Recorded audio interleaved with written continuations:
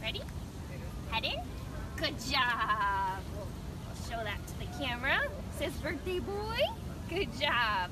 So you can see that Sunny initiates putting his head through versus me having to put it on him. That shows that he's ready to go and he's with me, ready for the game.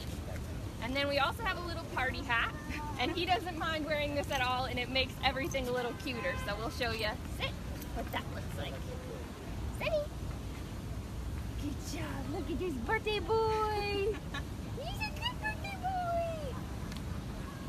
Getting used to things on their body is really important for a guide dog because they need to be comfortable being bumped and touched out in public because that happens a lot, especially in New York City where they're always in tight spaces and around crowds.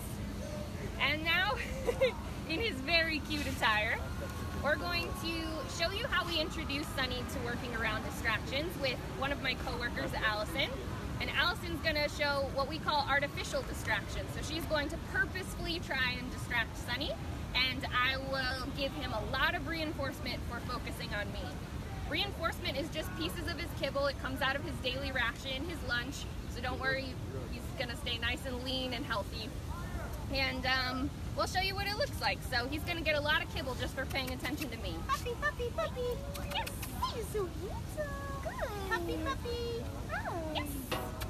So you can see he's ignoring her. Puppy. Puppy, puppy. Yes, and paying attention to me, which is the foundation to working in an environment like this park. Yes, so good. Puppy, puppy. And then maybe Allison could even reach her hand out.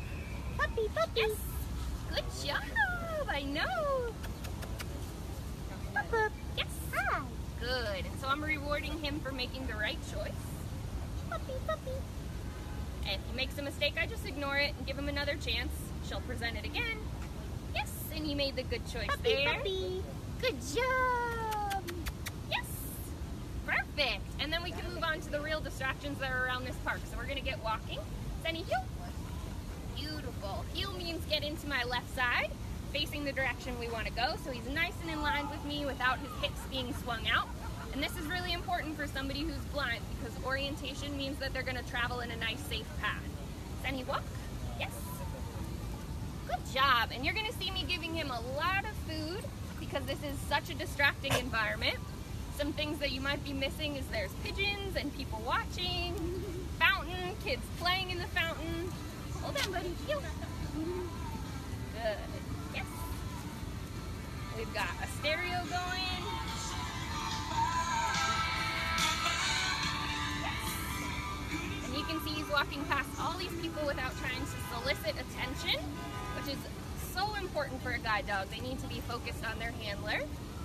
We're gonna try and keep him out of the sun because it is a very hot day today. Sunny. Good boy. Uh-oh, we're losing your hat. Sunny, bring. Here.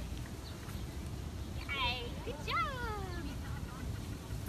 And that is the start of his retrieval. And we'll show you a little bit more of that around the corner. Sunny. Sunny.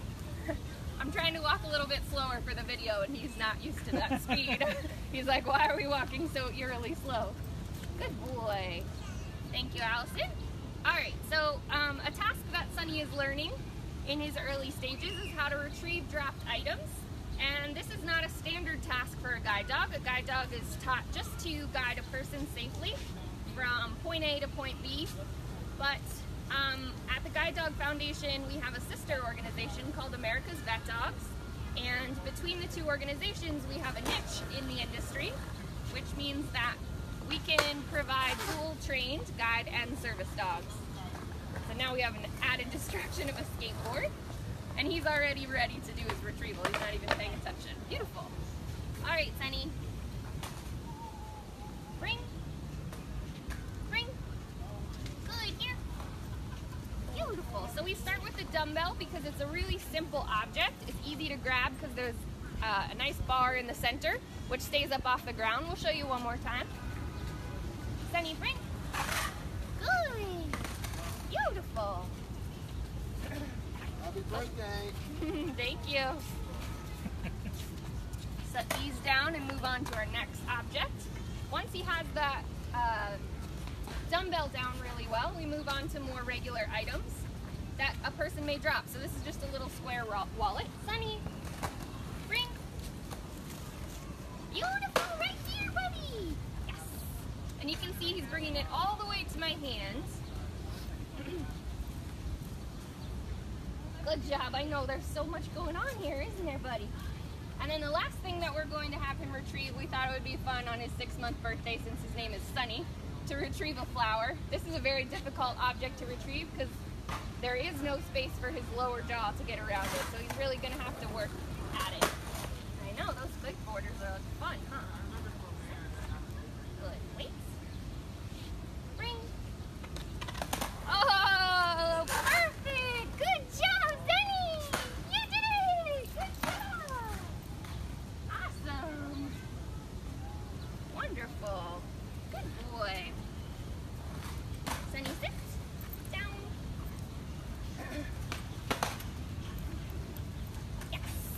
job. So Sunny is working on a lot of obedience and manners out in public in order to make him the best guide dog possible. And he's off to a wonderful start. You can see how great he is for just six months old.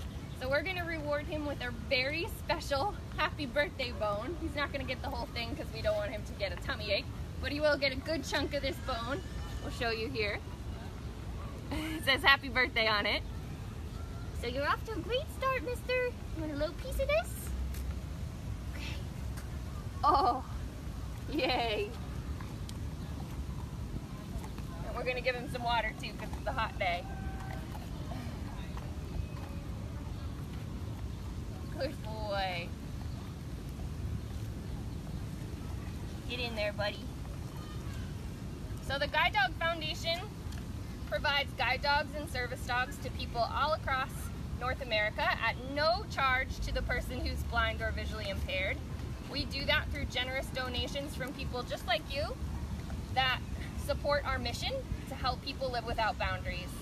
And Sunny is just one of many puppies with a purpose that we have that are all working towards improving the independence of somebody who really deserves their help. Here, yeah, you want this closer? Good boy. So if you'd like to learn more about the Guide Dog Foundation, you can go to guidedog.org or you can follow us on Instagram, Facebook, and Twitter at Guide Dog Foundation. Sunny is a very special puppy, and if you're in America, you can catch him on a morning television show called The Today Show. He's the Today Show's puppy with a purpose, and he even has his own Instagram account with The Today Show, which is at Today Puppy. And there's a ton of cute pictures, including one of him in a bow tie to celebrate today's big day. So check it out. Thanks for tuning in.